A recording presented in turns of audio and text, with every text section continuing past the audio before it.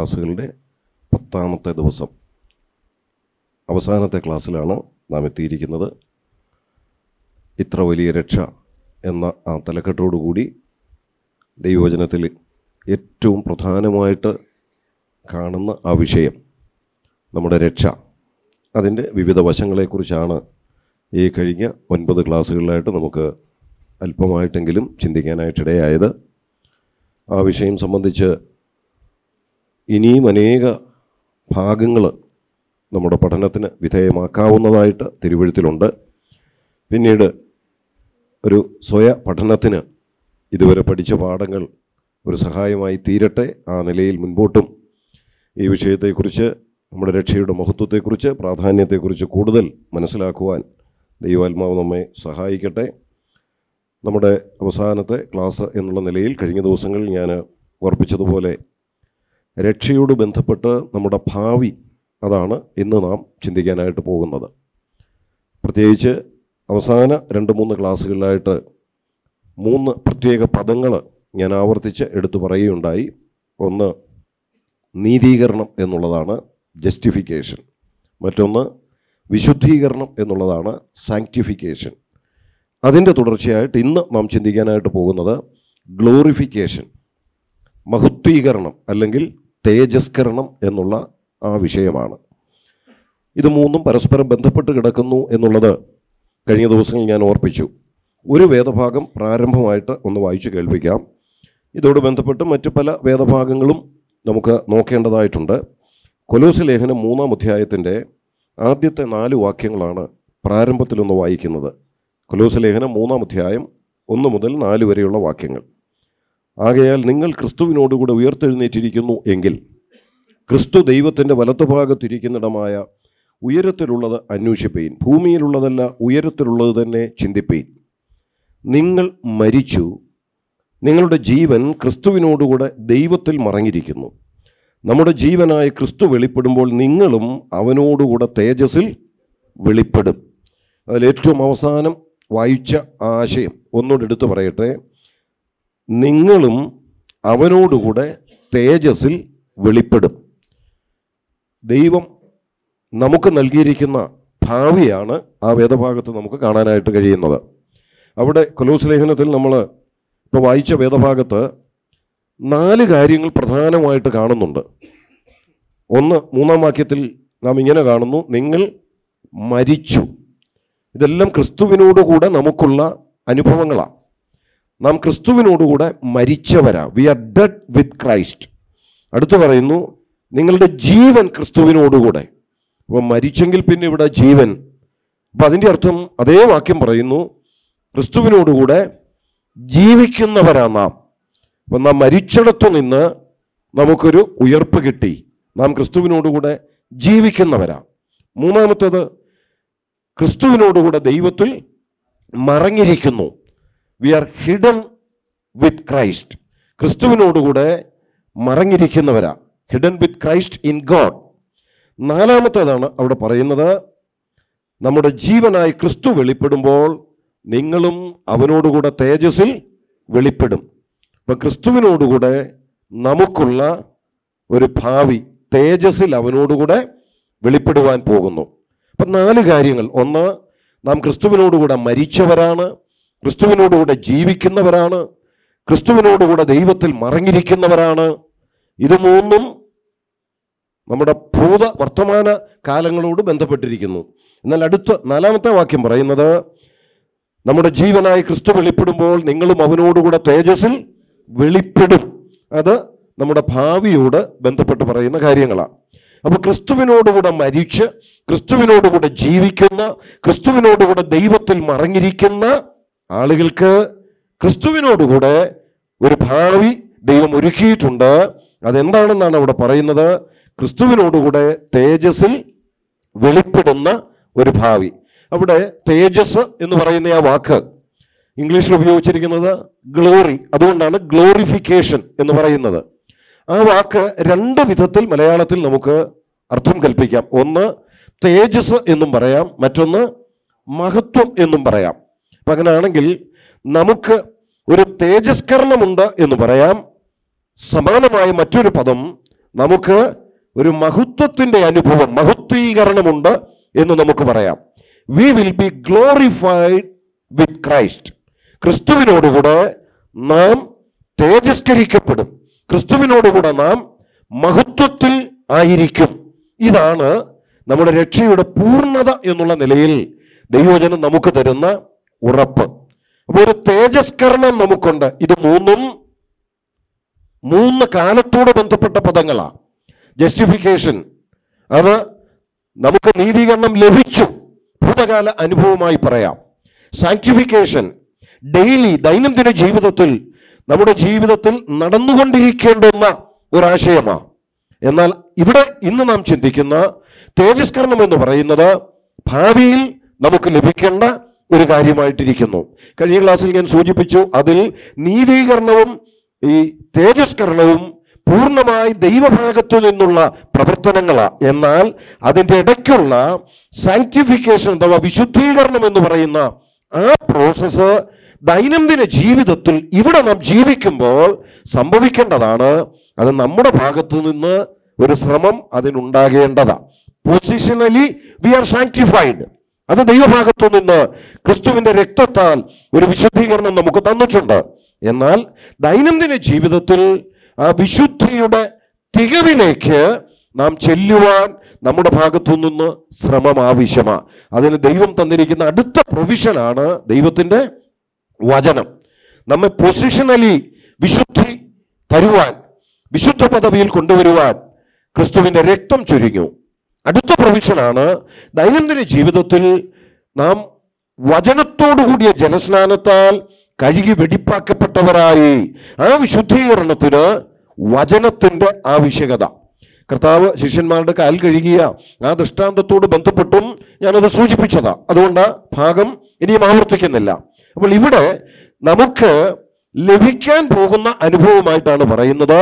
We will be glorified with Christ ക്രിസ്തുവിനോട് കൂടെ ഒരു തേജസിന്റെ അനുഭവം നമുക്കുണ്ട്.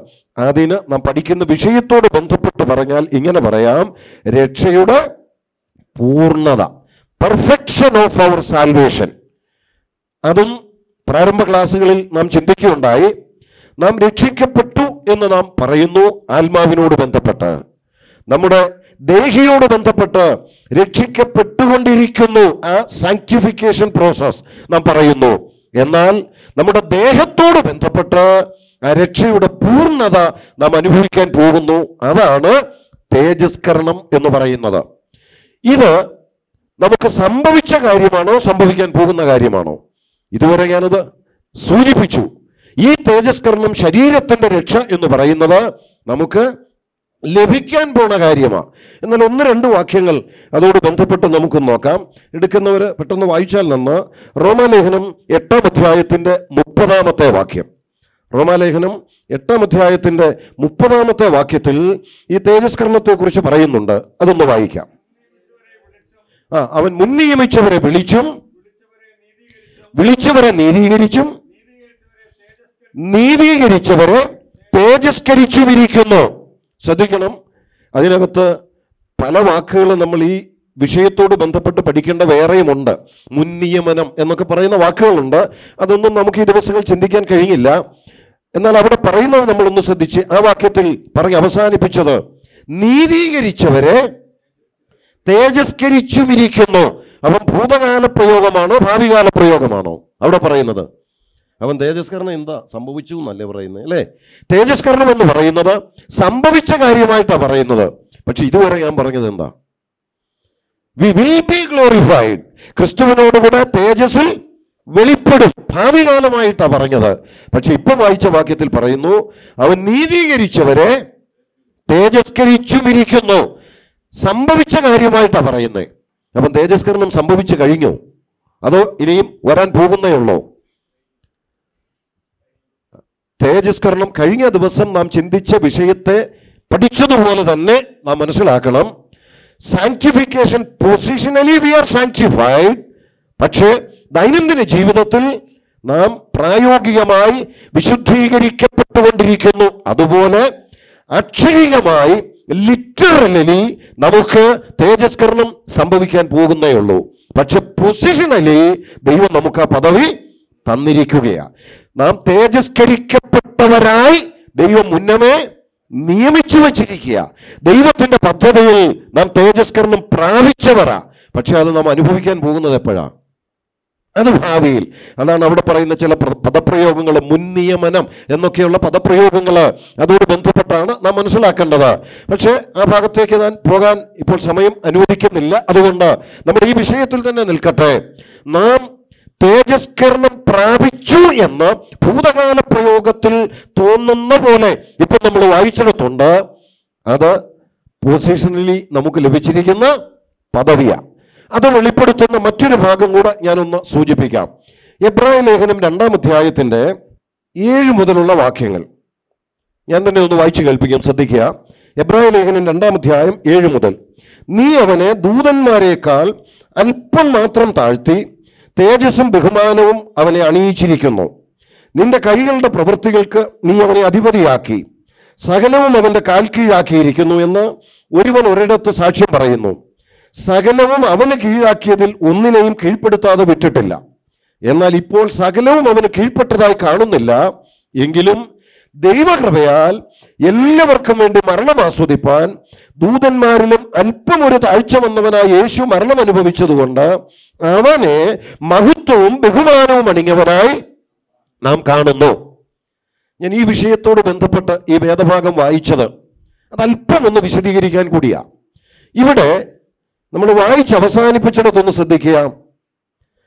എങ്കിലും ദൈവകൃപയാൽ എല്ലാവർക്കും വേണ്ടി മരണം ആസ്വദിപ്പാൻ ദൂതന്മാരിലും അല്പം ഒരു താഴ്ച വന്നവനായ യേശു മരണം അനുഭവിച്ചതുകൊണ്ട് അടുത്ത് അവനെ മഹത്വവും ബഹുമാനവും അണിഞ്ഞവനായി നാം കാണുന്നു. ആരെ?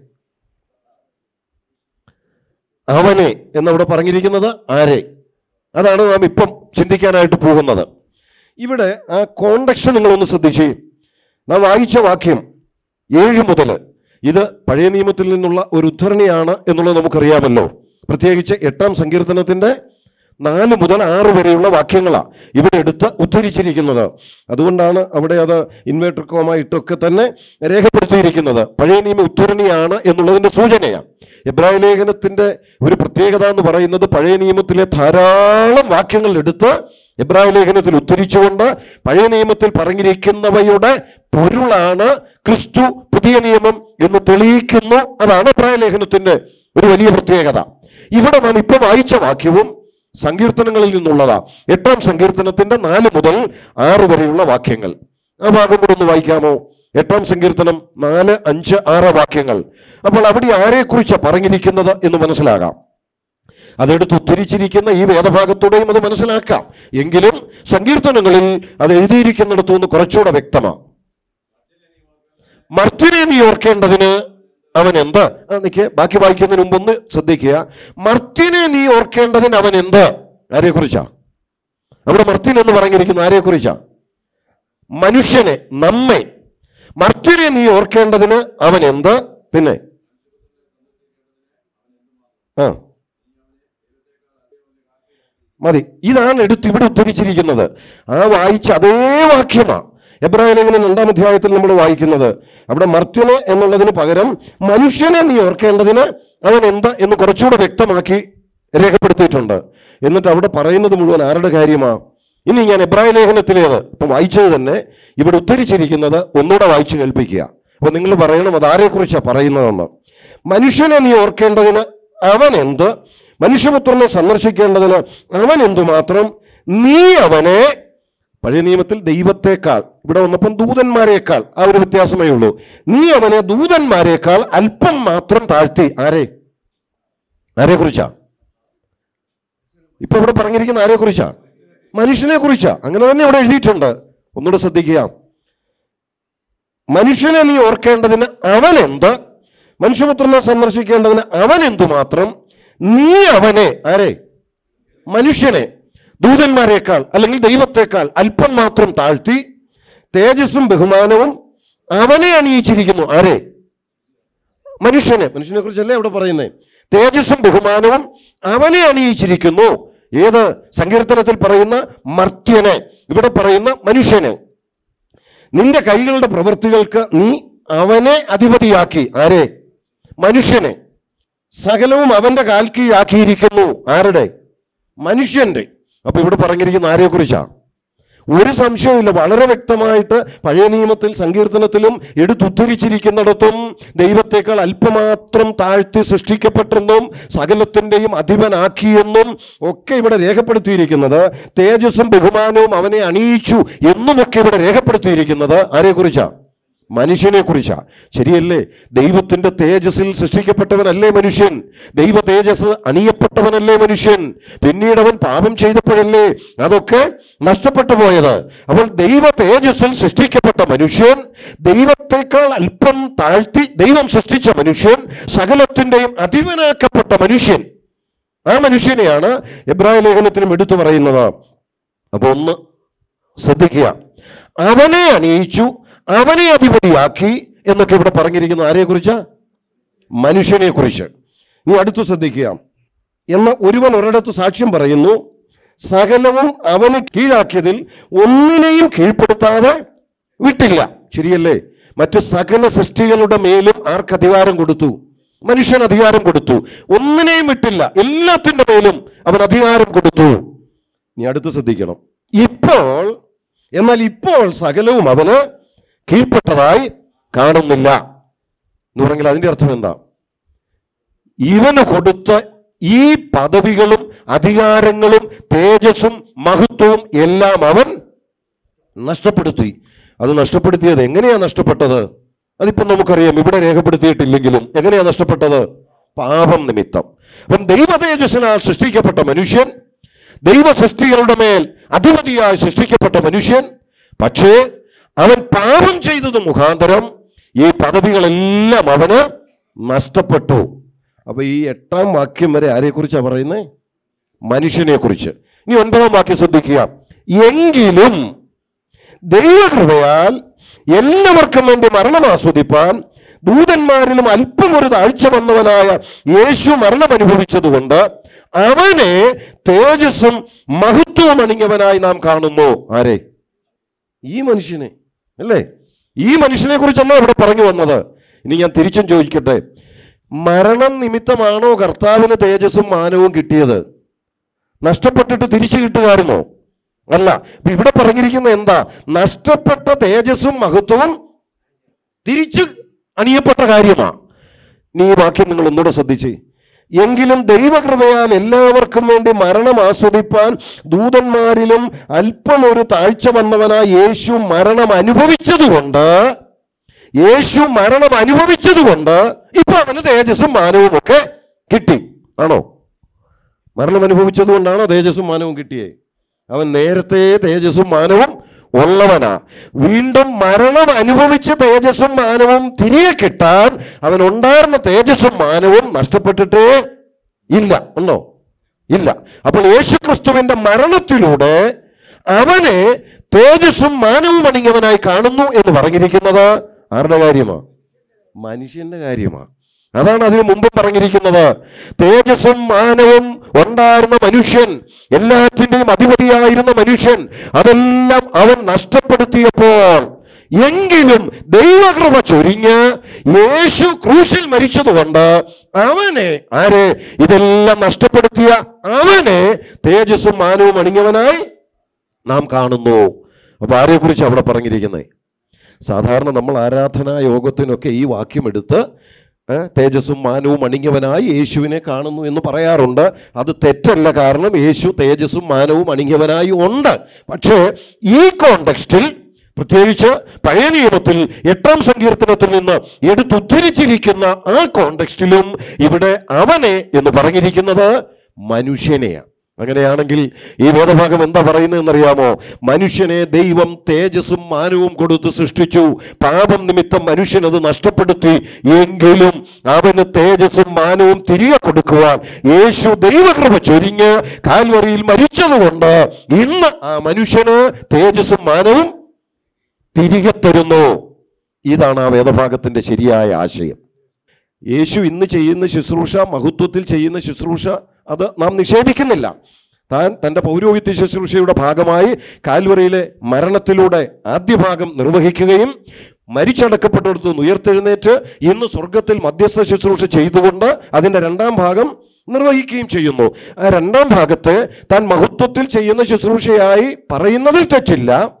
അത് നമുക്ക് നിഷേധിക്കാൻ പറ്റത്തില്ല. പക്ഷേ ഈ കോണ്ടെക്സ്റ്റിൽ തിരികെ കിട്ടിയ കാര്യമാണ് പറഞ്ഞിരിക്കുന്നത് അല്ലേ?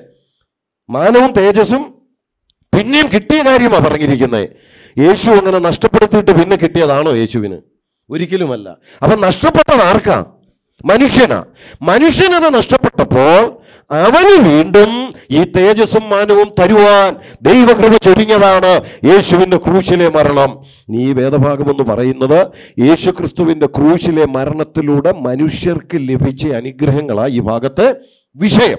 അപ്പൊ അത് പറയുമ്പോൾ ഇവിടെ എങ്കിലും ദൈവകൃപയാൽ എല്ലാവർക്കും വേണ്ടി മരണം ആസ്വദിപ്പാൻ ദൂതന്മാരിലും അല്പം ഒരു താഴ്ച വന്നവനായി യേശു മരണം അനുഭവിച്ചതുകൊണ്ട് അവന് എന്ന് പറയുന്നത് നമ്മൾ ആ ഒൻപതാം വാക്യവും പത്താം വാക്യവും മാത്രം വായിച്ചാലാണ് യേശുവിനെ എന്ന് വ്യാഖ്യാനിക്കാൻ തോന്നുന്നത്.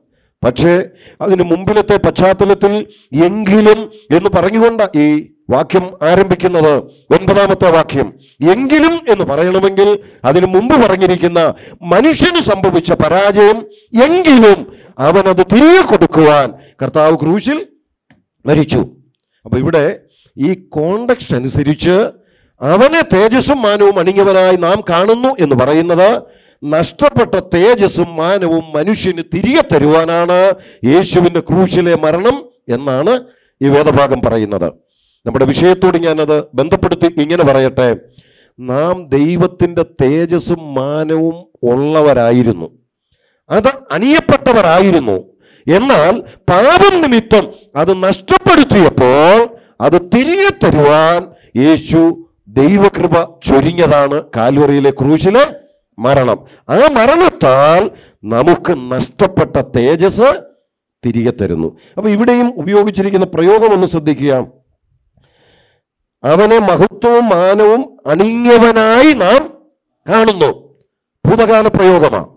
ഇത് യേശുവിന്റെ ക്രൂശുമരണത്തിലൂടെ മനുഷ്യന് ലഭിക്കാൻ പോകുന്ന അനുഗ്രഹത്തെ പൊസിഷണലി സ്ഥാനീയമായി പ്രയോഗത്തിലൂടെ ഇവിടെ രേഖപ്പെടുത്തിയിരിക്കുന്നതാണ് നമുക്ക് തേജസ്സും മാനവും നൽകിയിരിക്കുന്നു എന്നുള്ളത് അതാണ് റോമാലേഖനത്തിൽ നാം വായിക്കുന്നത്. മുൻ നിയമിച്ചവരെ. ആ മുൻ നിയമനം അത് നടന്ന സമയത്ത് തന്നെ നമുക്ക് തേജസ്കരണവും കൂടെ പൊസിഷനിൽ തന്നിരിക്കുക. അതിന്റെ അർത്ഥം എന്താണെന്നറിയാമോ? അങ്ങനെ നമുക്കത് തന്നുറപ്പിച്ചു വെച്ചിരിക്കുന്നെങ്കിൽ അതൊരു കാര്യം വ്യക്തമാക്കുന്നു. ഇനിയും അതിന് മാറ്റമില്ല. നാം ഈ തേജസ്കരണം പ്രാപിക്കും എന്നുള്ളത് ഉറപ്പ് നൽകുകയാണ്. അതാണ് ഈ വിഷയം തേജസ്കരണം എന്ന് പറയുന്നത്. ഇനി എന്താ തേജസ്കരണം എന്നതുകൊണ്ട് ഉദ്ദേശിക്കുന്നത്? ഞാൻ പ്രാരംഭത്തിൽ ഓർപ്പിച്ചു അത് നമ്മുടെ രക്ഷയുടെ പൂർണതയാണ്. എബ്രാഹിം ലേഖനം ഏഴാം അധ്യായം ഇരുപത്തി അഞ്ചാം വാക്യത്തിൽ ആ പ്രയോഗം തന്നെ നാം വായിക്കുന്നുണ്ട്. എടുത്തവരൊന്ന് വായിച്ചേക്കുക. എബ്രായർ ഏഴിന്റെ ഇരുപത്തിയഞ്ച്. അവരെ പൂർണമായി രക്ഷിപ്പാൻ അവൻ പ്രാപ്തനാകുന്നു. ഇത് നേരത്തെ നാം ഒന്ന് ചിന്തിച്ചതാണ് ഒരു രക്ഷിതാവിനുണ്ടായിരിക്കേണ്ട രണ്ട് യോഗ്യതകളാണ്. ഒന്ന് രക്ഷിപ്പാനുള്ള കഴിവും രക്ഷിപ്പാനുള്ള മനസ്സും. അതല്പം വിശദമായിട്ട് നാം നേരത്തെ ഒരു ക്ലാസ്സിൽ ചിന്തിച്ചതാ. അതിലൊന്ന് പറയുന്നു പക്ഷെ അവിടെ പറയുന്ന പ്രയോഗം ഒന്ന് ശ്രദ്ധിച്ച് അവൻ എങ്ങനെ രക്ഷിപ്പാൻ പ്രാപ്തനാണെന്നാണ് പറയുന്നത്? പൂർണമായി രക്ഷിപ്പാൻ. പൂർണമായ രക്ഷ എന്ന് പറയുമ്പോൾ മനുഷ്യനെ പൂർണമായി രക്ഷിക്കുക എന്ന് പറയുമ്പോൾ അവന്റെ മൂന്ന് ഘടകങ്ങളെയും ബാധിക്കുന്ന രക്ഷ. അതിൽ ദേഹത്തിന്റെ രക്ഷയാണ് പൂർണതയോട് ബന്ധപ്പെട്ട് നിൽക്കുന്നത്. ബാക്കി രണ്ടും ഒന്ന് സംഭവിച്ചു കഴിഞ്ഞത് മറ്റൊന്ന് സംഭവിച്ചുകൊണ്ടിരിക്കുന്നത്. അതിന്റെ പൂർണതയിൽ നാം എത്തുന്നത് നമ്മുടെ ശരീരത്തിന്റെ രക്ഷ പൂർണമാകുമ്പോഴാണ് അപ്പോൾ ഇവിടെ തേജസ്കരണം എന്ന വാക്കുകൊണ്ട് ഉദ്ദേശിക്കുന്നത് നമ്മുടെ രക്ഷയുടെ പൂർണതയാണ് അല്ലെങ്കിൽ നമ്മുടെ ദേഹത്തിനും രക്ഷ ലഭിക്കുന്ന ആ അനുഭവത്തെയാ സൂചിപ്പിക്കുന്നത്. നമ്മൾ ഇന്നിവിടെ കാത്തിരിക്കുന്നത് ആരെയാ? ഫിലിപ്പ് ലേഖനം മൂന്നാം അധ്യായത്തിന്റെ ഇരുപതും ഇരുപത്തിയൊന്നും വാക്യങ്ങൾ. ഒരുപക്ഷെ നമുക്ക് മനഃപ്പാഠമായിട്ട് അറിയാവുന്ന വാക്യങ്ങളാണല്ലോ. നമ്മുടെ പൗരത്വമോ സ്വർഗത്തിലാകുന്നു അവിടെ നിന്ന് കർത്താവായ യേശുക്രിസ്തു രക്ഷിതാവായി വരുമെന്ന് നാം കാത്തിരിക്കുന്നു. രക്ഷിതാവായി വരുന്നതാണോ നാം കാത്തിരിക്കുന്നത്? രക്ഷിതാവായിട്ട് ഒരിക്കൽ വന്നു അല്ലേ? ഒരിക്കൽ വന്നു രക്ഷ ഒരുക്കി. രണ്ടായിരം ആണ്ടുകൾക്ക് മുൻപിൽ യേശു മനുഷ്യവർഗത്തിന്റെ പാപത്തെ രക്ഷിപ്പാൻ യേശു എന്ന പേരോടുകൂടി രക്ഷിതാവ് എന്നർത്ഥം വരുന്ന പേരോടുകൂടി തിരുവഴുത്ത് പറയുന്നത് പോലെ ക്രിസ്തുവേശു പാപികളെ രക്ഷിപ്പാൻ ലോകത്തിൽ വന്നു എന്നുള്ളത് വിശ്വാസ്യവും എല്ലാവരും അംഗീകരിപ്പാൻ യോഗ്യവുമായ വചനം തന്നെ അങ്ങനെ രക്ഷിപ്പാൻ രക്ഷിതാവായി ഒരിക്കൽ വന്നു. ഇനിയും വരുന്നത് ആരായിട്ടാന്ന് തന്നെയാണ് ഈ വേദഭാഗം പറയുന്നത്? അവിടെ നിന്ന് കർത്താവായ യേശു ക്രിസ്തു രക്ഷിതാവായി വരും എന്ന് നാം കാത്തിരിക്കുന്നു. ഇനിയും വരുന്നത് രക്ഷിതാവായിട്ടാണോ? അതോ ഇതിനു മുമ്പ് വന്നതാണോ രക്ഷിതാവായി വന്നത്? ഇതിനു മുൻപ് വന്നത് സകല മനുഷ്യവർഗത്തിന് രക്ഷയൊരുക്കുവാൻ.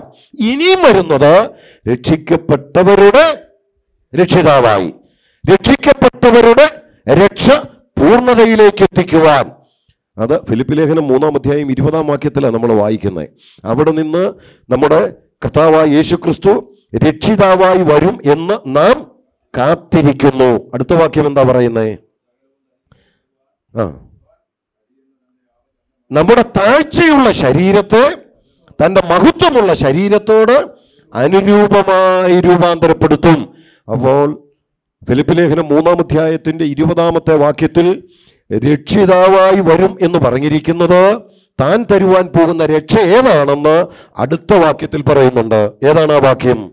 ആ വാക്യം പറയുന്നു നമ്മുടെ താഴ്ചയുള്ള ശരീരത്തെ തന്റെ മഹത്വമുള്ള ശരീരത്തോട് അനുരൂപമായി രൂപാന്തരപ്പെടുത്തും. ഇതാണ് അവിടെ പറയുന്ന രക്ഷ. അപ്പൊ രക്ഷിക്കപ്പെട്ട ദൈവമക്കൾ രക്ഷിതാവായി കാത്തിരിക്കുന്നു എന്ന് പറയുമ്പോൾ അതുകൊണ്ട് അർത്ഥമാക്കുന്നത് നമ്മുടെ താഴ്ചയുള്ള ശരീരത്തിന്റെ താഴ്ച മാറ്റി ബലഹീനത മാറ്റി ഒന്ന് കുരുന്നർ പതിനഞ്ചാം അധ്യായത്തിൽ അതിന്റെ വിശദീകരണം അല്പം നൽകിയിട്ടുണ്ട്. ആ വേദഭാഗത്തിന്റെ അടിസ്ഥാനത്തിലാണെങ്കിൽ ദ്രവത്വമുള്ളത് അദ്രവത്വത്തെ മർത്യമായത് അമർത്യത്വത്തെ എന്നൊക്കെ നമ്മൾ വായിക്കുന്നുണ്ട്. സാധാരണ സംസ്കാര ശുശ്രൂഷയോട് ബന്ധപ്പെട്ട ആ ഭാഗങ്ങളൊക്കെ വായിക്കുകയും ധാരാളം പ്രസംഗിച്ച് കേൾക്കുകയും ചെയ്യുന്ന ഒരു വേദഭാഗമാണല്ലോ. നമ്മുടെ ശരീരം താഴ്ചയുള്ളതാ. ഇവിടെ രക്ഷിക്കപ്പെട്ട ദൈവമക്കൾ ആണ് എങ്കിലും ജീവിക്കുന്നത് ബലഹീനമായ ശരീരത്തിലാ താഴ്ചയുള്ള ശരീരത്തിലാ. എന്നാൽ ഈ ശരീരത്തെ താഴ്ചയുള്ള ശരീരത്തെ എങ്ങനെ മാറ്റും? തന്റെ മഹത്വമുള്ള ശരീരത്തോട് അനുരൂപമായി രൂപാന്തരപ്പെടുത്തും. അപ്പോൾ അവിടെ നാം വായിക്കുന്ന ആ വാക്ക് ഒന്ന് ശ്രദ്ധിക്കുക. നമ്മുടെ ഈ ശരീരത്തിന് ഒരു രൂപാന്തരം. ആ രൂപാന്തരമാണ് നമ്മൾ ഇതുവരെ ചിന്തിച്ച ഗ്ലോറിഫിക്കേഷൻ എന്ന് പറയുന്ന തേജസ്കരണം എന്ന് പറയുന്ന അനുഭവം. അത് നമുക്കുണ്ടെന്നുള്ളതിന്റെ ഉറപ്പാണ് നമ്മെ തേജസ്കരിച്ചും ഇരിക്കുന്നു എന്നും മരണത്തിലൂടെ തേജസ്സും ബഹുമാനവും അണിയിച്ചിരിക്കുന്നു എന്നും തിരുവഴുത്തിലൂടെ ഉറപ്പിച്ചു പറഞ്ഞിരിക്കുന്നതിന്റെ അർത്ഥം. അത് നമ്മുടെ പൊസിഷൻ പ്രാക്ടിക്കലി നാം അത് അനുഭവിക്കാൻ പോകുന്നത് ഭാവിയിൽ.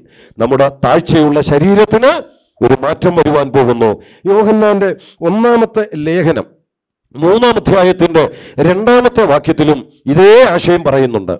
ഒന്ന് യോഹന്നാൻ മൂന്നിന്റെ രണ്ട് ഒന്ന് വായിക്കാമോ?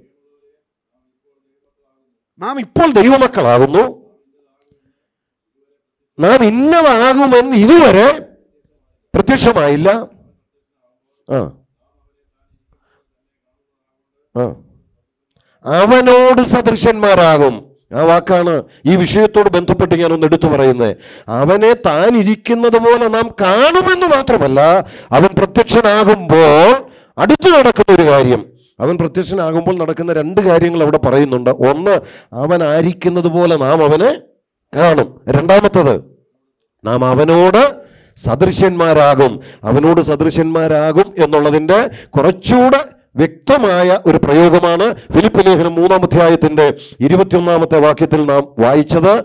ആ താഴ്ചയുള്ള ശരീരത്തെ അവന്റെ മഹത്വമുള്ള ശരീരത്തോട് അനുരൂപമായി രൂപാന്തരപ്പെടുത്തും. ആ മഹത്വമുള്ള എന്ന് പറയുന്നതാണ് ഗ്ലോറിഫൈഡ് ബോഡി അതാണ് കൊലോശലേഖനത്തിൽ നമ്മൾ വായിച്ചത്. നിങ്ങളും അവനോടുകൂടെ തേജസ്സിൽ വെളിപ്പെടും. അപ്പൊ ആ പ്രയോഗങ്ങൾ കൊണ്ടൊക്കെ എന്താ അർത്ഥമാക്കുന്നത്? നമ്മുടെ ഈ താഴ്ചയുള്ള ശരീരമൊക്കെ മാറി നമ്മുടെ രക്ഷ അതിന്റെ പൂർണതയിലേക്ക് എത്തും ഈ ശരീരത്തിന് ഒരു രൂപാന്തരം സംഭവിക്കും. ഇത് തേജസ്കരിക്കപ്പെടും. ഇതിനാണ് രക്ഷയുടെ പൂർണത എന്ന് പറയുന്നത്. ഇത് പറയുന്ന വേറെയും ചില വാക്യങ്ങളുണ്ട്. ഇബ്രാഹിം ലേഖനം ഒൻപതാം അധ്യായത്തിൽ അവിടെയും ഭാവിയിൽ നമുക്ക് ലഭിക്കാൻ പോകുന്ന രക്ഷയെക്കുറിച്ച് പറയുന്നുണ്ട്. ആ വാക്യം കൂടെ നമുക്ക് നോക്കാം. അവിടെ യേശു ക്രിസ്തുവിന്റെ മൂന്ന് പ്രത്യക്ഷതകളെക്കുറിച്ച് പറയുന്നുണ്ട്. എബ്രാഹിം ലേഖനം ഒൻപതാം അധ്യായത്തിന്റെ ഇരുപത്തിനാല് മുതലുള്ള വാക്യങ്ങൾ. ക്രിസ്തു വാസ്തവമായതിന്റെ പ്രതിബിംബമായി കൈപ്പണിയായ വിശുദ്ധ മന്ദിരത്തിലേക്കല്ല ഇപ്പോൾ നമുക്ക് വേണ്ടി ദൈവസന്നിധിയിൽ പ്രത്യക്ഷനാവാൻ സ്വർഗത്തിലേക്ക് അത്രേ പ്രവേശിച്ചത്. അപ്പോൾ ഇപ്പോൾ ക്രിസ്തു സ്വർഗത്തിൽ പ്രത്യക്ഷനാണ്. ആ വാക്യം പറയുന്നു. അടുത്ത് താഴോട്ട് വരുമ്പോൾ പറയുന്നു ഇരുപത്തിയാറാം വാക്യം അങ്ങനെയായാൽ ലോകസ്ഥാപനം മുതൽക്ക് അവൻ പലപ്പോഴും കഷ്ടം കഷ്ടമനുഭവിക്കേണ്ടിയിരുന്നു. എന്നാൽ അവൻ ലോകാവസാനത്തിൽ സ്വന്തമാകും കൊണ്ട് പാപപരിഹാരം വരുത്തുവാൻ ഒരിക്കൽ പ്രത്യക്ഷനായി. അത് കഴിഞ്ഞ കാര്യം. ഇപ്പോൾ അവൻ പ്രത്യക്ഷനാണ്. കഴിഞ്ഞ കാര്യം. ഒരിക്കൽ അവൻ പ്രത്യക്ഷനായി. അടുത്ത വാക്യം എന്താ പറയുന്നത്? ഇരുപത്തിയെട്ടാം വാക്യം. ക്രിസ്തുവും അങ്ങനെ തന്നെ അനേകരുടെ പാപങ്ങളെ ചുമപ്പാൻ ഒരിക്കൽ അർപ്പിക്കപ്പെട്ട് തനിക്കായി കാത്തു നിൽക്കുന്നവരുടെ രക്ഷയ്ക്കായി അവൻ പാപം കൂടാതെ രണ്ടാമത് പ്രത്യക്ഷനാകും. ഇവിടെ അവൻ പാപം കൂടാതെ രണ്ടാമത് പ്രത്യക്ഷനാകുമെന്ന് പറയുമ്പോൾ ഒരു ചിന്ത ഇങ്ങനെ വരാം. അപ്പോൾ ഇതിനു മുമ്പ് പ്രത്യക്ഷപ്പെട്ടത് പാപത്തോടു കൂടിയാണോ? അല്ലേ? അങ്ങനെ ഒരു ചിന്ത വേണേ വരാം. ആണോ? അവൻ ഇതിനു മുമ്പ് വന്നത് പാപത്തോടു കൂടിയാണോ? അല്ല പിന്നെ എന്താ അവിടുത്തെ അർത്ഥം? അവൻ പാപം കൂടാതെ രണ്ടാമത് പ്രത്യക്ഷനാകുമെന്ന് പറഞ്ഞാൽ ഇനിയും വരുന്നത് പാപപരിഹാരം തരാൻ വേണ്ടിയുള്ള വരവല്ല ഇതിനു മുൻപ് വന്നത് പാപമെന്ന വിഷയത്തോട് ബന്ധപ്പെട്ടാ വന്നത്. താൻ പാപിയായിരുന്നെന്നല്ല തന്നിൽ പാപമുണ്ടായിരുന്നെന്നോ അതുമായിട്ടാ വന്നതെന്നോ അല്ല അതിന്റെ അർത്ഥം. അങ്ങനെയും ഒരു പഠിപ്പീരുണ്ട്. യേശു ക്രിസ്തുവിനെ കുറിച്ച് പറയുമ്പോൾ ഇങ്ങനെ ചിലർ പറയുന്നുണ്ട് യേശു ക്രിസ്തു ജഡമെടുത്ത് ലോകത്തിലേക്ക് വന്നു. യേശു ക്രിസ്തുവിന് ലോകത്തിൽ വന്നപ്പോൾ പാപം ചെയ്യുവാൻ കഴിയുമായിരുന്നു പക്ഷേ ചെയ്തില്ല. അങ്ങനെ ഒരു പഠിപ്പീരുണ്ട്. അതുകൊണ്ടാണ് ഞാൻ ആ ഭാഗം ഒന്ന് എടുത്തു പറഞ്ഞത്. എന്നാൽ അങ്ങനല്ല. യേശുക്രിസ്തു ലോകത്തിൽ വന്നപ്പോൾ പാപം ഒഴികെ സകലത്തിലും നമുക്ക് തുല്യമായി പരീക്ഷിക്കപ്പെടുകയായിരുന്നു. പാപം ചെയ്യുവാൻ കഴിവുണ്ടായിരുന്നു എന്നിട്ടും ചെയ്തില്ല എന്നല്ല. മറിച്ച് അവനിൽ പാപമില്ല.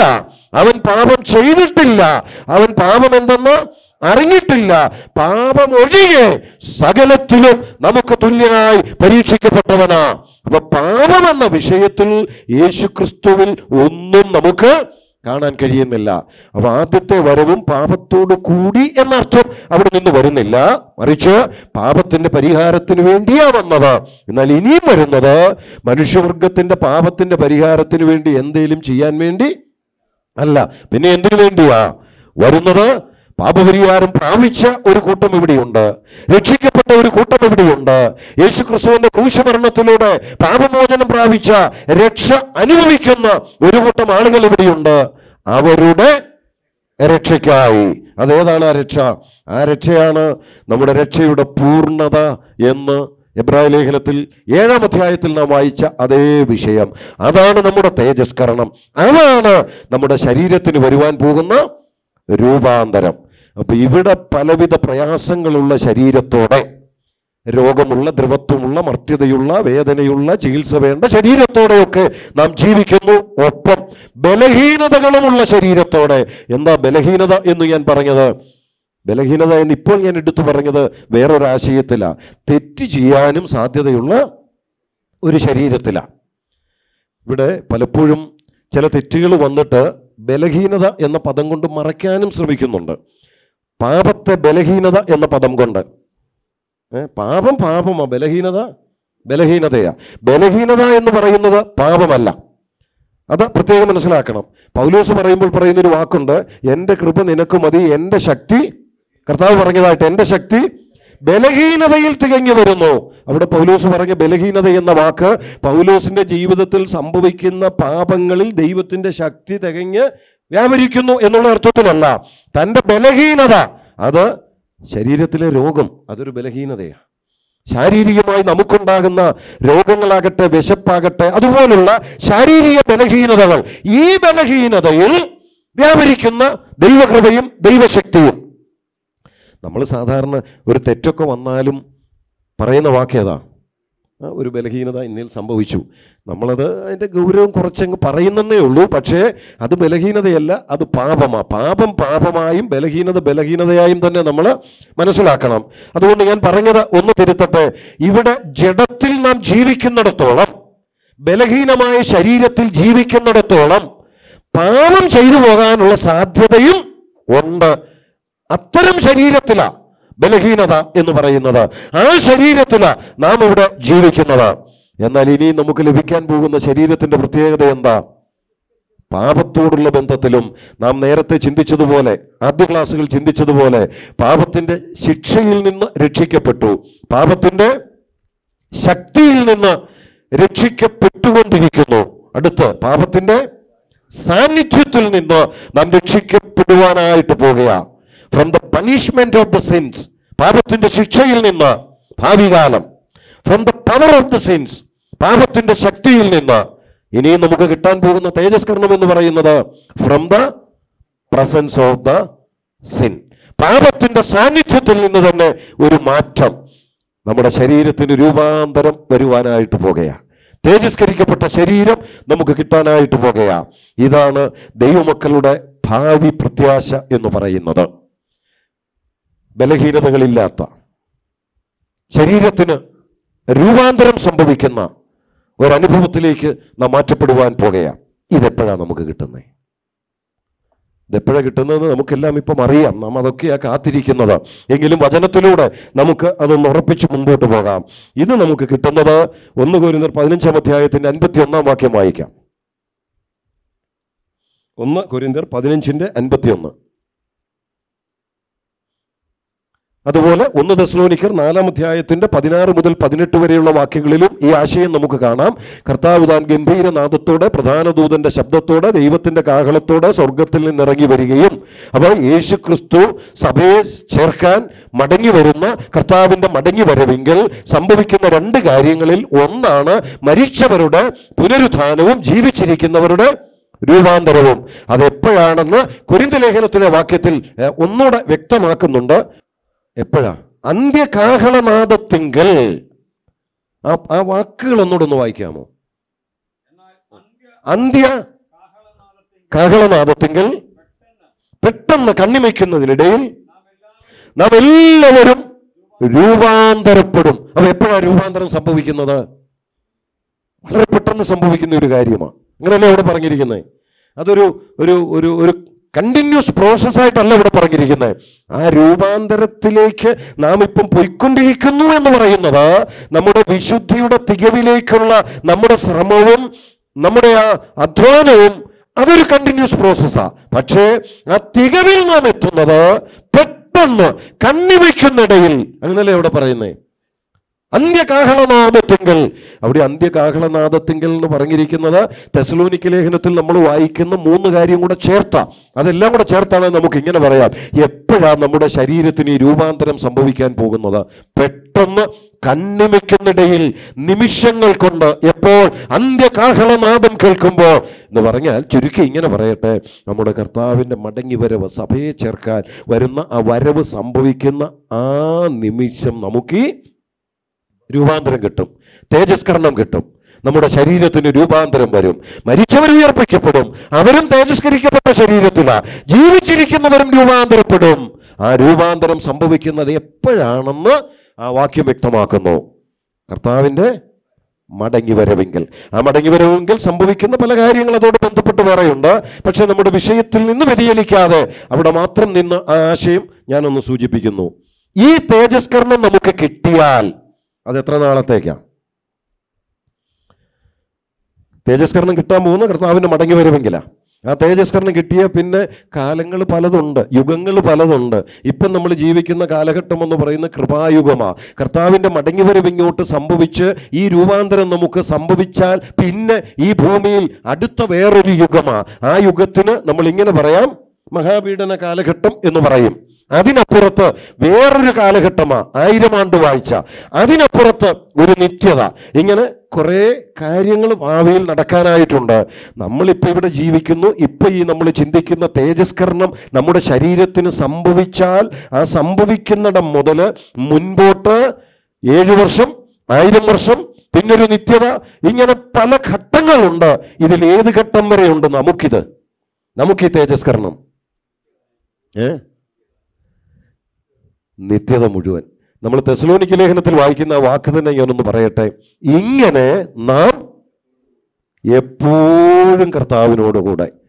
ഇങ്ങനെ നാം എപ്പോഴും കർത്താവിനോടുകൂടെ. വേറൊരു വാക്യം ഒന്ന് വായിക്കാമോ? കുരിന്തർക്ക് എഴുതിയ രണ്ടാം ലേഖനം അഞ്ചാം അധ്യായത്തിന്റെ ഒന്നാം വാക്യം. മതി. ഇവിടെ കൂടാരമായ ഞങ്ങളുടെ ഭൗമഭവനം എന്ന് പറഞ്ഞിരിക്കുന്ന എന്തിനെ കുറിച്ചാണ് നമ്മുടെ ശരീരത്തെക്കുറിച്ചാണ് കൂടാരമായ ഞങ്ങളുടെ ഭൗമഭവനം.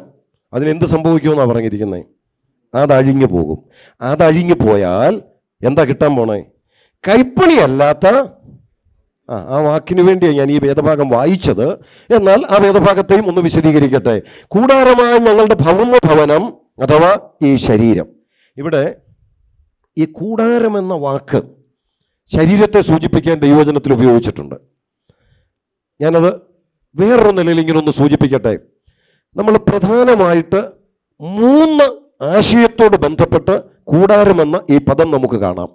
പഴയ നിയമം നമ്മൾ നോക്കിയാൽ അവിടെ ഒരു കൂടാരമുണ്ടായിരുന്നു ആ കൂടാരത്തിന് നമ്മൾ പറയുന്ന പേര് സമാഗമന കൂടാരം. പുതിയ നിയമത്തിലേക്ക് വരുമ്പോൾ നമ്മുടെ കർത്താവ് പറഞ്ഞ അല്ല കർത്താവിനെ കുറിച്ച് പറഞ്ഞിരിക്കുന്നത് യോഹന്നാന്റെ സുവിശേഷം ഒന്നാം അധ്യായത്തിന്റെ പതിനാലാം വാക്യത്തിൽ വചനം ജഡമായി തീർന്നു. കൃപയും സത്യവും നിറഞ്ഞവനായി നമ്മുടെ ഇടയിൽ പാർത്തു. അത് ഇംഗ്ലീഷ് ബൈബിൾ ഇങ്ങനെയാണ്. The word became flesh and dwelt among us നമ്മുടെ ഇടയിൽ പാർത്തു. പക്ഷെ നിങ്ങൾ ശ്രദ്ധിച്ചിട്ടുണ്ടോ? ചില ഇംഗ്ലീഷ് വേർഷൻസിൽ ഡെൽറ്റ് എന്നുള്ളതിന് വേറൊരു പദമാണ് the word became flesh and tabernacled among us എന്നാ ടാബർനാക്കിൾഡ് എമംഗ് അസ് ചില ഇംഗ്ലീഷ് വേർഷൻസിൽ അങ്ങനെ. അതിന്റെ അർത്ഥം എന്താണെന്നറിയാമോ? നമ്മുടെ ഇടയിൽ പാർത്തു എന്നുള്ളത് നമ്മുടെ ഇടയിൽ കൂടാരമടിച്ചു എന്ന. അങ്ങനെയാണെങ്കിൽ വചനം അത് യേശുക്രിസ്തുവാ. യേശുക്രിസ്തു ജഡമെടുത്തപ്പോൾ നമ്മുടെ ഇടയിൽ കൂടാരമടിച്ചതാണെങ്കിൽ അതേതാണ് കൂടാരം? തന്റെ ശരീരമാകുന്ന കൂടാരത്തിൽ ഇവിടെ ജീവിച്ചു എന്ന അതിന്റെ അർത്ഥം. അപ്പൊ അവിടെ the word became flesh and dwelt or tabernacled among us എന്ന് പറഞ്ഞാൽ അത് നമ്മുടെ ഇടയിൽ ശരീരത്തിൽ വസിച്ച കാര്യത്തെക്കുറിച്ചാണ്. അപ്പൊ അവിടെ കൂടാരം എന്ന് പ്രയോഗിച്ചിരിക്കുന്നത് ടാബർനാക്കിൾഡ് എന്ന് പ്രയോഗിച്ചിരിക്കുന്നത് താൻ ഇവിടെ വസിക്കുവാൻ എടുത്ത ശരീരത്തെ സൂചിപ്പിക്കാനാ. ഞാൻ ആ കൂടാരത്തെക്കുറിച്ച് ഒന്നുകൂടെ പറയട്ടെ. ഒന്ന് ടാബർനാക്കൽ സമാഗമന കൂടാരം. രണ്ട് യേശു ജഡത്തിൽ വന്നപ്പോൾ ശരീരമാകുന്ന കൂടാരത്തിൽ. മൂന്ന് പുതിയ നിയമത്തിൽ ദൈവസഭയെക്കുറിച്ച് പറയുമ്പോൾ നാം ഇങ്ങനെ വായിക്കുന്നുണ്ട് സത്യകൂടാരം എന്ന്. എബ്രാഹിം ലേഖനത്തിൽ സത്യകൂടാരം. അപ്പോൾ അതിന്റെ അർത്ഥം എന്താ? ദൈവസഭ ക്രിസ്തുവിന്റെ ശരീരമാണ് ആ ശരീരത്തെയും ഏത് വാക്കുകൊണ്ടാണ് വിശേഷിപ്പിച്ചിരിക്കുന്നത് സത്യ കൂടാരം. ഇനി ഈ കൂടാരം എന്ന പദം ഉപയോഗിച്ചിരിക്കുന്നതെല്ലാം നമ്മൾ വേറൊരു നിലയിലൊന്ന് ചിന്തിച്ചാൽ പഴയ നിയമത്തിൽ സമാഗമന കൂടാരം ദൈവത്തിന്റെ സാന്നിധ്യമുള്ള സ്ഥലം ദൈവത്തെ വെളിപ്പെടുത്തുന്ന സ്ഥലം. യേശു ജഡത്തിൽ വന്ന് കൂടാരമടിച്ചു എന്ന് പറയുമ്പോൾ ആ കൂടാരം ജീവനുള്ള ദൈവത്തെ വെളിപ്പെടുത്തിയ സ്ഥാനം. ഇന്ന് സത്യകൂടാരം ദൈവസഭയാണെങ്കിൽ ലോകത്തിൽ ദൈവത്തിന്റെ സാന്നിധ്യവും ദൈവത്തെ വെളിപ്പെടുത്തുകയും ചെയ്യേണ്ട സ്ഥലം അതാണ് സത്യകൂടാരം. അങ്ങനെയാണെങ്കിൽ കൂടാരം എന്ന പദം കൊണ്ട് അർത്ഥമാക്കുന്നത് ദൈവ സാന്നിധ്യമുള്ള സ്ഥലം അല്ലെങ്കിൽ ദൈവത്തെ വെളിപ്പെടുത്തേണ്ട സ്ഥാനം എന്നാണ് അർത്ഥം.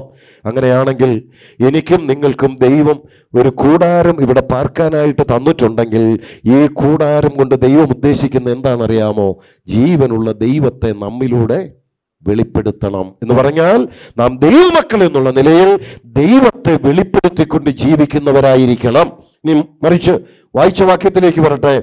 ഇവിടെ നമുക്കുള്ള കൂടാരത്തെക്കുറിച്ച് പറയുന്നത് കൂടാരമായ ഞങ്ങളുടെ ഭൗമഭവനം. അതിനെന്ത് സംഭവിക്കും? അത് അഴിഞ്ഞു പോകും. പക്ഷെ കൈപ്പണിയല്ലാത്ത നിത്യഭവനമായി ദൈവത്തിന്റെ ദാനമായൊരു കെട്ടിടം. ഇത് എന്തിനെയാണ് സൂചിപ്പിക്കുന്നത് ഈ കൂടാരം അഴിഞ്ഞു പോയാൽ കൈപ്പണിയല്ലാത്ത നിത്യഭവനമായി ദൈവത്തിന്റെ ദാനമായൊരു കെട്ടിടം എന്ന് പറയുമ്പോൾ പല നിലകളിൽ വേദപണ്ഡിതന്മാർ അതിനെ വ്യാഖ്യാനിക്കുന്നുണ്ട്. ഞാനത് ഒന്ന് ഇങ്ങനെ പറയട്ടെ. കൈപ്പണിയല്ലാത്ത ഒരു ഭവനം ദൈവം നമുക്ക് വേണ്ടി കരുതിയിട്ടുണ്ട്. പഴയ നിയമവുമായി താരതമ്യപ്പെടുത്തിക്കൊണ്ട് പറയുക കൈപ്പണിയായ ദേവാലയമായിരുന്നു പഴയ നിയമത്തിൽ യഹൂദന്മാർക്കുണ്ടായിരുന്നത്. എന്നാൽ ഇന്ന് നമുക്ക് കൈപ്പണിയല്ലാത്ത ഒരു കെട്ടിടം ഒരാലയം അത് ദൈവസഭയാണ്.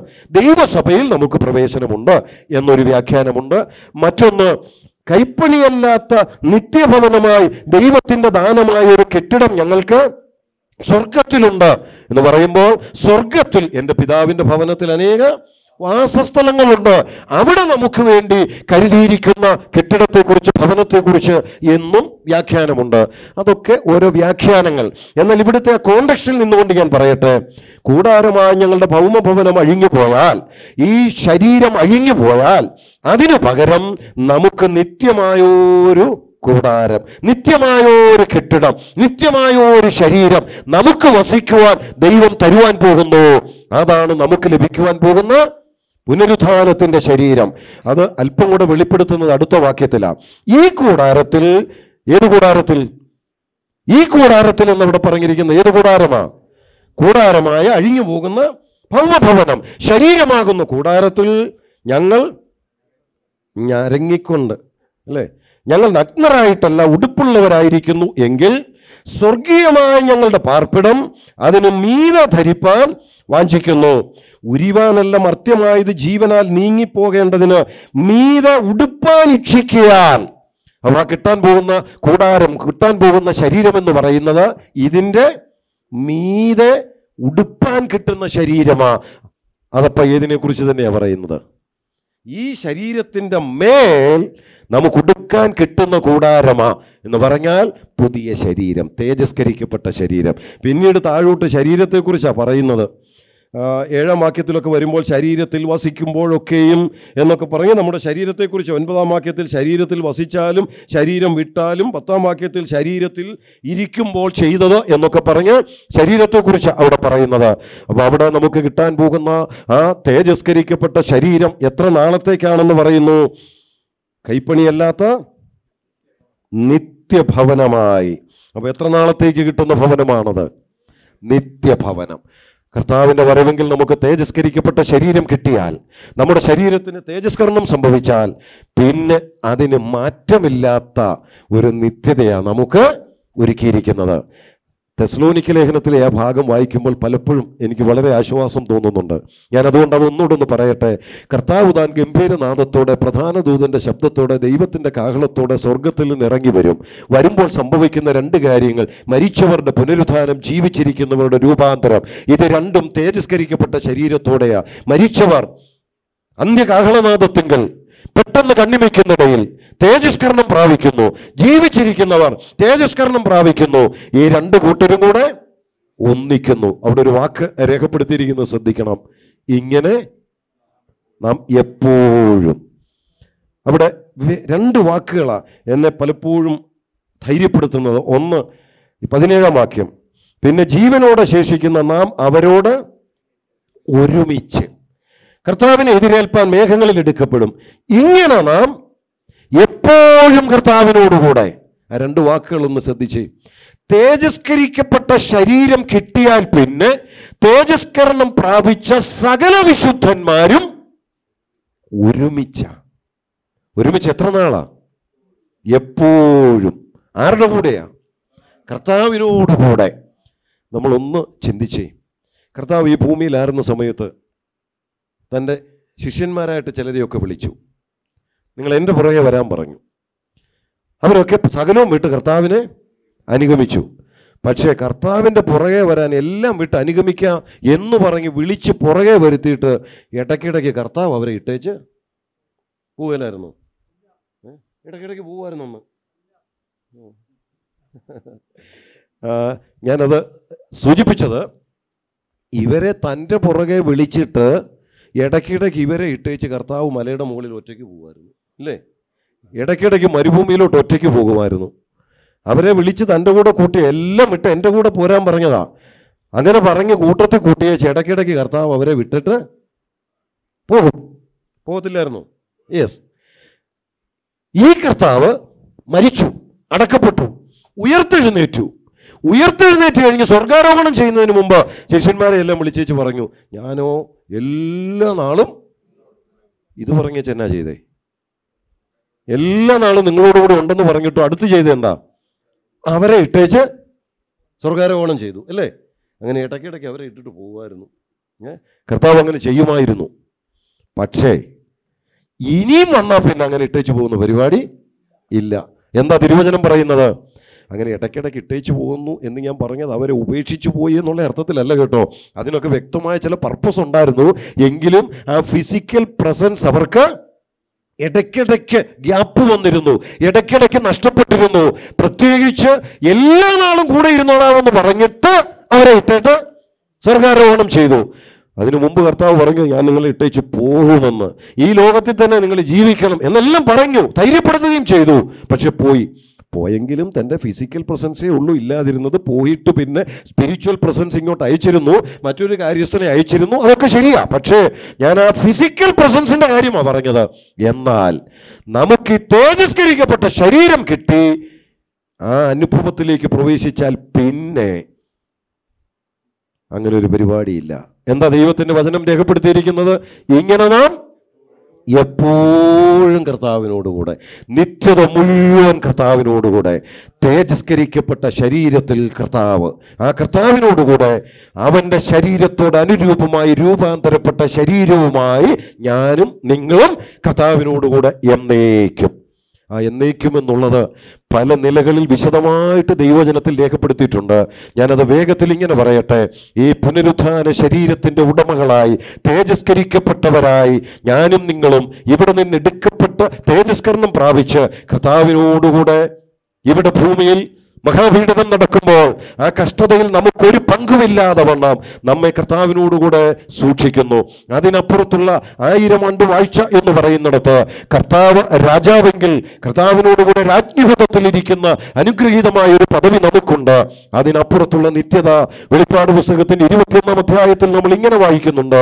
ആ നിത്യതയിൽ സ്വർഗത്തിൽ നിന്ന് ഒരു പട്ടണം എരുഷലേം എന്ന വിശുദ്ധ നഗരം ഒരു മലയുടെ മുകളിലേക്ക് ഇറങ്ങി വരുമ്പോൾ അതിനകത്ത് ദൈവസഭ ക്രിസ്തുവിനോട് കൂടെ കുഞ്ഞാട് അതിന്റെ വിളക്കായിട്ടിരിക്കുമ്പോൾ കുഞ്ഞാടിനോട് കൂടെ ക്രിസ്തുവിനോട് കൂടെ ദൈവസഭ യരുഷലേം എന്ന വിശുദ്ധ നഗരത്തിനകത്ത് അവിടെയെല്ലാം നമുക്കുള്ള അനുഗ്രഹിക്കപ്പെട്ട ഭാവിയാണ് ദൈവജനത്തിലൂടെ നാം കാണുന്നത്. അതെ നമുക്ക് ലഭിക്കാൻ പോകുന്ന ആ തേജസ്കരണത്തിന്റെ അനുഭവം എന്ന് പറയുന്നത് അതാണ് നമുക്ക് ഇവിടെ ദൈവം തന്നിരിക്കുന്ന അനുഗ്രഹീതമായ പ്രത്യാശ. ആ ശരീരത്തിന്റെ പ്രത്യേകത ഞാൻ മുമ്പേ കണ്ടു. ക്രിസ്തുവിന്റെ ശരീരത്തോട് നാം അനുരൂപമായി രൂപാന്തരപ്പെടുന്നു. ക്രിസ്തുവിന്റെ ശരീരത്തോട് അനുരൂപമായി രൂപാന്തരപ്പെടുമെന്ന് പറയുമ്പോൾ ആ പുനരുദ്ധാന ശരീരത്തെക്കുറിച്ച് ചില സംശയങ്ങളൊക്കെ തോന്നാം. അത് നമുക്ക് കാണാൻ പറ്റുന്നതാണോ തിരിച്ചറിയാൻ പറ്റുന്നതാണോ എന്നൊക്കെയുള്ള പല സംശയങ്ങളുമൊക്കെ കാണാം. ഞാനത് ഇങ്ങനെ മാത്രം പറയട്ടെ. അതിന് പുനരുദ്ധാനം ചെയ്ത കർത്താവ് പ്രത്യക്ഷപ്പെട്ട രംഗങ്ങളൊക്കെ തന്നെ ധാരാളം ദൃഷ്ടാന്തങ്ങളാണ് ആ ശരീരത്തിന് ഒരു കഥക് തുറക്കാതെ തന്നെ ആ മുറിക്കകത്ത് പ്രവേശിക്കാനുള്ള കഴിവുണ്ട്. ആ ശരീരത്തെ കാണാനും കാണാതിരിക്കാനും കഴിയത്തക്ക വിധം ഉള്ള പ്രത്യേകതകളുള്ള ശരീരമാണ് തിരിച്ചറിഞ്ഞതായിട്ടൊക്കെ നമ്മൾ വായിക്കുന്നുണ്ട്. തിരിച്ചറിയാതെ പോയ സന്ദർഭങ്ങളും വായിക്കുന്നുണ്ട്. അപ്പൊ ചുരുക്കത്തിൽ ഞാൻ ഇങ്ങനെ പറയട്ടെ പുനരുത്ഥാനം ചെയ്ത കർത്താവിന് ലഭിച്ച പുനരുത്ഥാനത്തിന്റെ ശരീരം ഒരിക്കൽ പാപം നിമിത്തം സകല ദൈവ തേജസ്സും നമ്മിൽ നിന്ന് നഷ്ടപ്പെട്ടു പോയതാ. പക്ഷേ എബ്രായർ രണ്ടിന്റെ ഒൻപത് പത്ത് വാക്യങ്ങൾ പറയുന്നത് പോലെ യേശു ദൈവകൃപയാൽ മരണം അനുഭവിച്ചതുകൊണ്ട് മരണം ആസ്വദിച്ചതുകൊണ്ട് നഷ്ടപ്പെട്ടു പോയ തേജസ്സും മാനവും നമുക്ക് തിരികെ തരുന്നു. കർത്താവിനെ രക്ഷിതാവായി ഹൃദയത്തിൽ സ്വീകരിച്ച സകല ദൈവമക്കളും രക്ഷിക്കപ്പെട്ടവർ ദൈവസഭയുടെ ഭാഗം.